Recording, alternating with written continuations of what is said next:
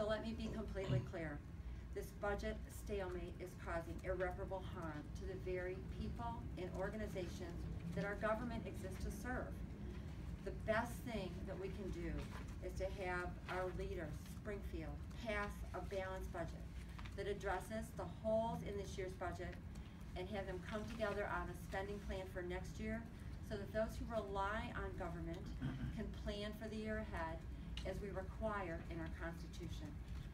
And at the very least, our state owes it to the taxpayers of Illinois to pass funding that allows our schools to open, that ensures our vendors are paid for services that they have already provided, and that will help keep critical state government operations running.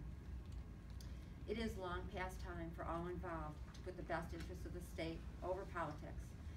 As always, my office stands ready to assist in whatever resources, whatever help we can provide that will help move the discussion ahead and get us a solution and a budget in place.